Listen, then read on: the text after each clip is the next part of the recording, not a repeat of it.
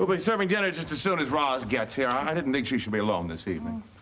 How's she doing? Well, I guess okay, considering she's decided to have the child herself. Boy, things have sure changed since my day. Back then, if a girl got in trouble, her family would just ship her off to relatives in another state, and if anybody asked, just lied and said she went to Europe. Then when she came back, they'd raise the baby as a little sister. Not like today. We had morals and values back then.